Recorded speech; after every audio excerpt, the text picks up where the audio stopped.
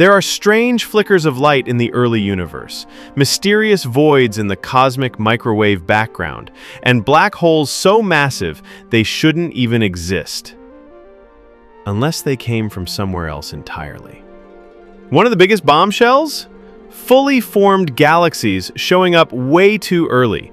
According to established theories, it should have taken hundreds of millions of years for stable galaxies to emerge from the hot, dense chaos of the young universe. But the Webb telescope is finding dozens of massive, organized galaxies, already thriving just 300 to 400 million years after the Big Bang. In short, what we're seeing isn't just surprising, it's impossible under current models. And that's why some scientists now wonder, are we glimpsing the fingerprints of another universe? These galaxies aren't just surprising, they're downright miraculous. Not only do they exist far earlier than expected, but they also appear far more structured and mature than the current cosmological model can explain. Some scientists now believe these galaxies may be more than cosmic anomalies, they might be leftovers from a previous universe. This idea breathes new life into a bold theory proposed by British physicist Sir Roger Penrose. Back in 2015, Penrose introduced the concept of conformal cyclic cosmology, suggesting that our universe is just one in an endless cycle.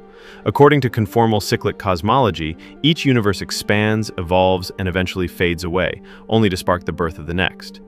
And here's the twist. Not everything from a dying universe may vanish.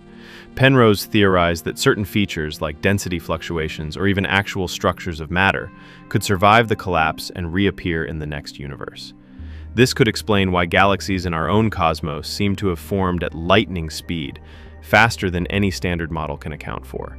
Researchers plan to aim Webb directly at the regions where these puzzling strange structures seem to have originated.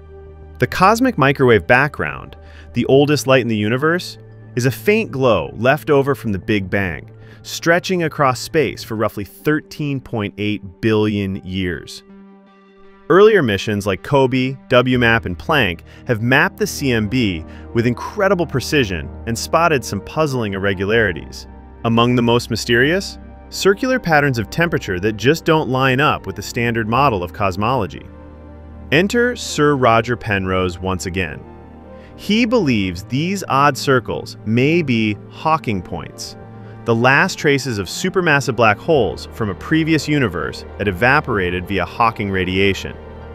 According to his conformal cyclic cosmology, the end of each universe sees all black holes slowly vanish, leaving behind a nearly empty space. This barren spacetime then seeds the birth of a new universe. If Penrose is right, those Hawking points in the CMB might be ancient fingerprints from a universe long gone.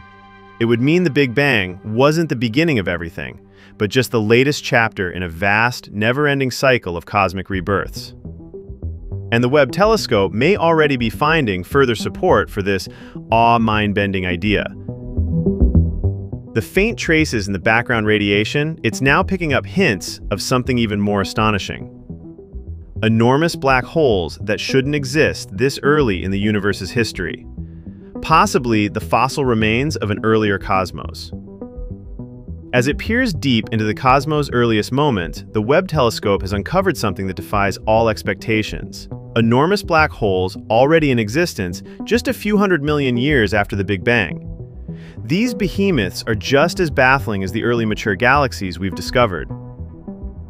According to everything we thought we knew, Black holes that massive should take billions of years to grow.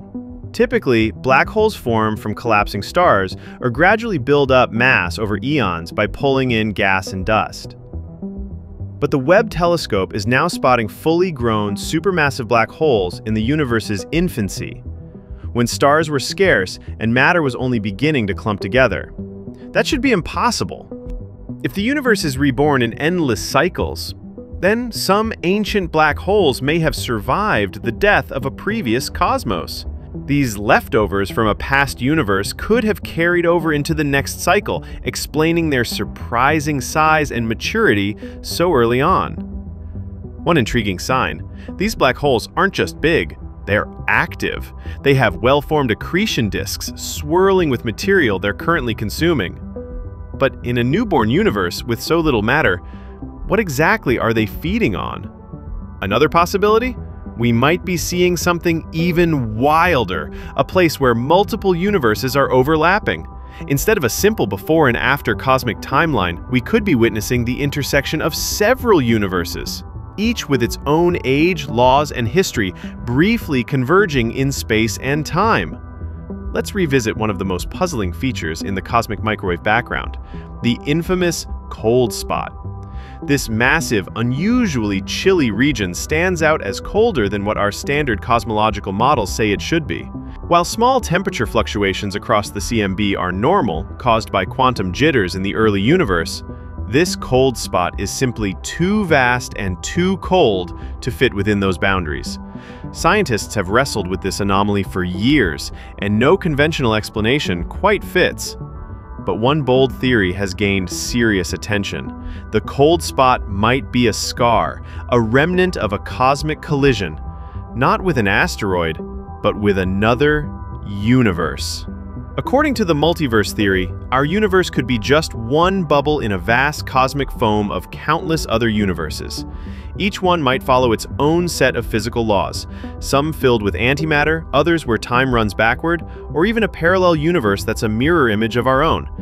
If our universe brushed up against another during its infancy, the cold spot could be the cosmic fingerprint left behind. Scientists are now turning the unmatched eye of the Webb telescope toward this chilling anomaly.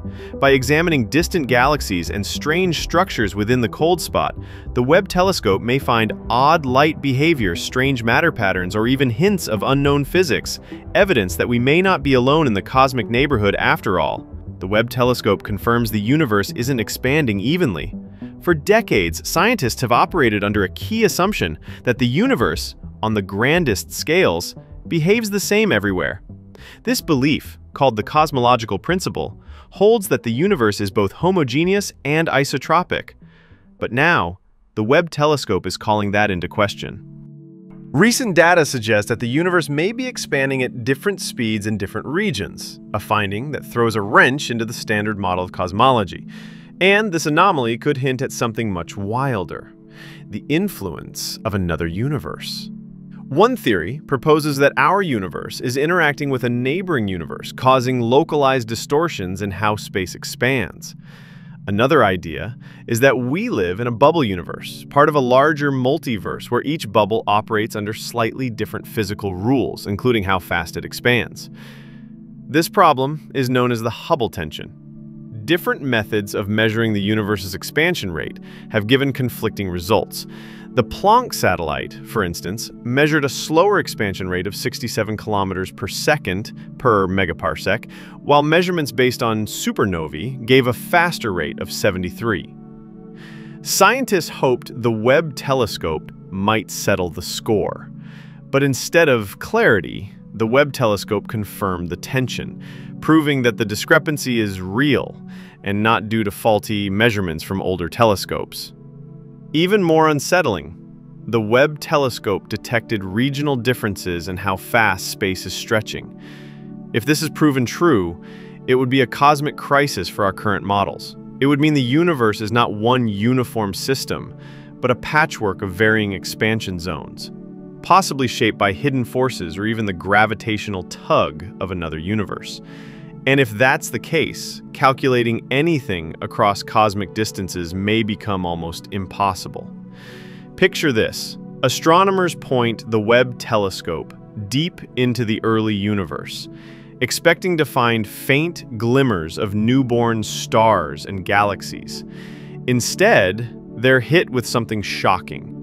Extremely bright objects lighting up the cosmos just a few hundred million years after the Big Bang.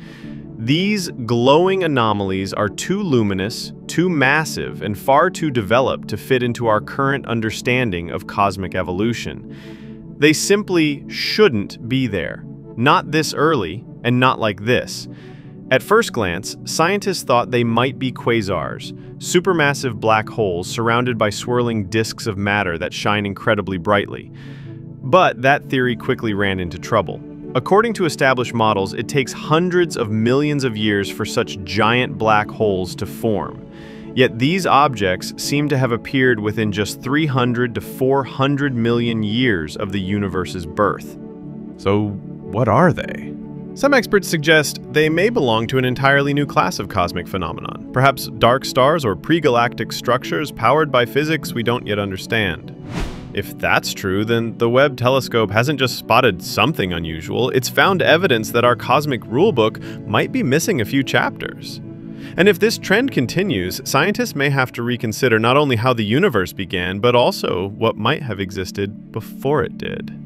If this is proof of another universe, hit subscribe before your evil multiverse twin does it first.